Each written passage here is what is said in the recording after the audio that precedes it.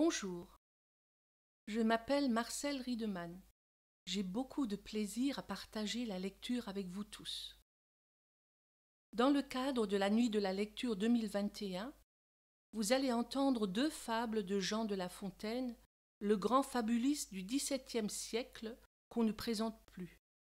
Les textes sont relus à la lumière de notre Lothringer Platt, notre Francique Lorrain. La cigale et la fourmi, tout d'abord, adapté librement d'une traduction de Sigurd Place, fervent adepte de Platt sarrois. Puis la deuxième fable, L'homme entre deux âges et ses deux maîtresses, traduite par Raymond Collin, enseignant à la retraite du pays de Beach, homme de scène et poète. Skrilche und die Emitz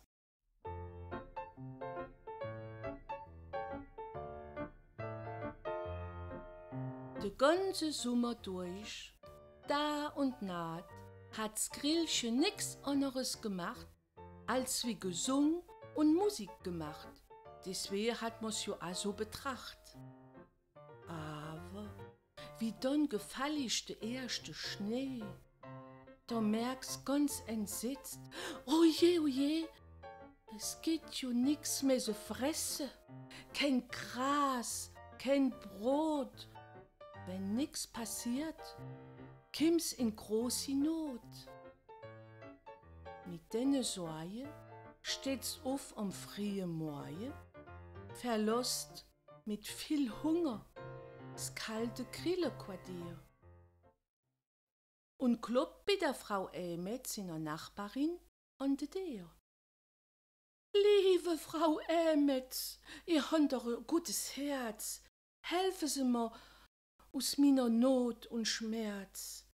Lehnen Sie mir etwas vor sie esse. Ich wär es ihnen auch nicht vergesse. Nur um deine Winter zu überbringen. Ich kann nicht etwas singen. Und uns a hundertfach, hundertfach zrick bezahle. Ehrlich, nächstes Jahr und dass ich kein Prahle. Was hast du dann im Sommer angefangen? sagt die Emitz. Ei, ei, ich han gesungen. Da und naht han ich gesungen. Und die Lied han gesagt, es wär ja so schön. So, gesungen hast du. Dann kannst du jetzt auch noch tanzen gehen, sagt die Emitz. La cigale et la fourmi. La cigale, ayant chanté tout l'été, se trouva fort dépourvue quand la bise fut venue. Pas un seul petit morceau de mouche ou de vermisseau.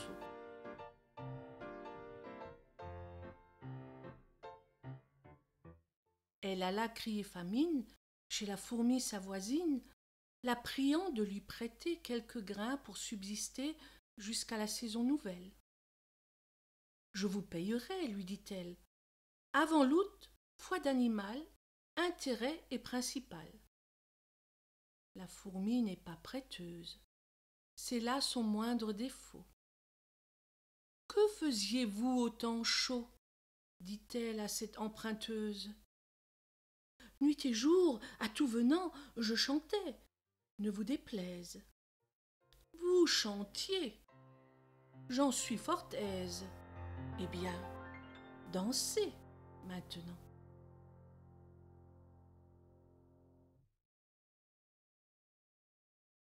De Heiratslustige und die zwei Witfrauen. Ein netter Mann sieht überm Rasieren die erste graue Haare.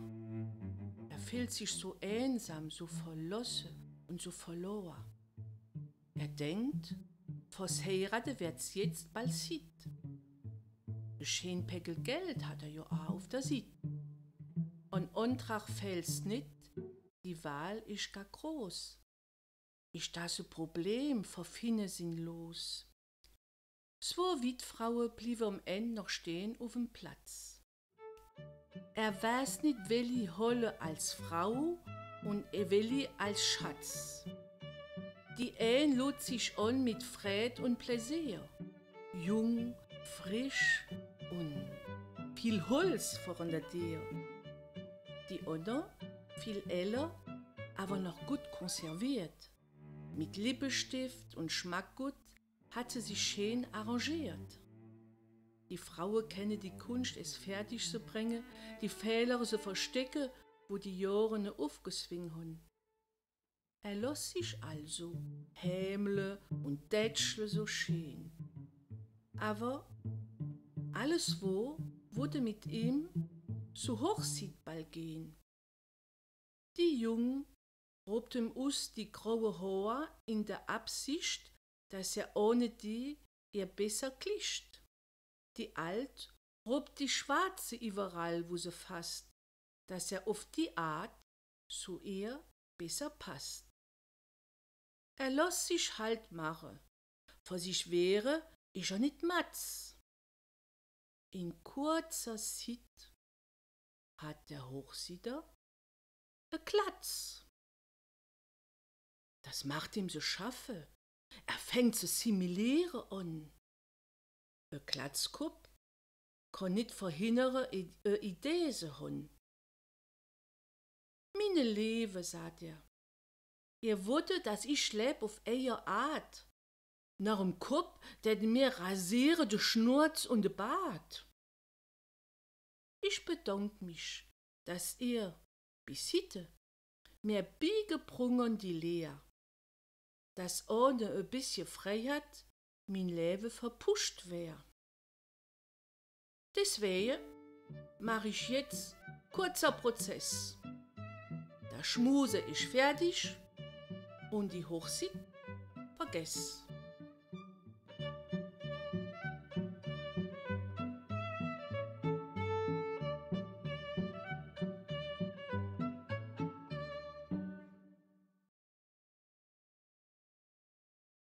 L'homme entre deux âges et ses deux maîtresses.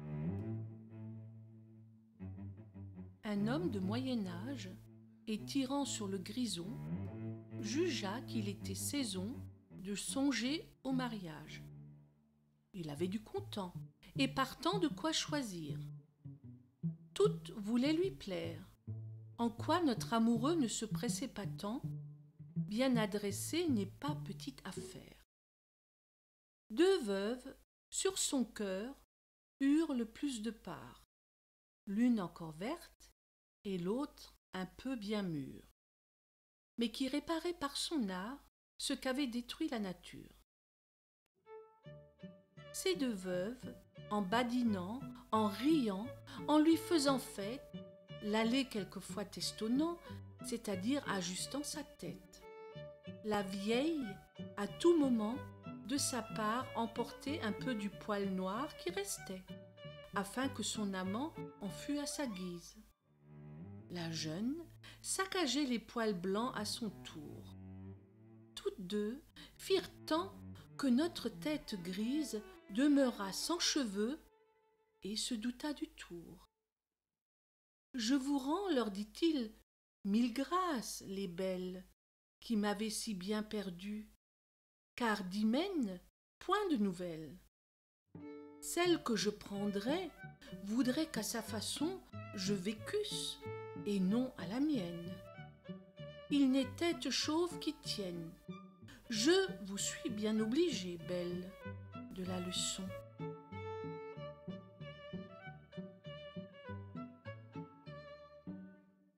Jean de La Fontaine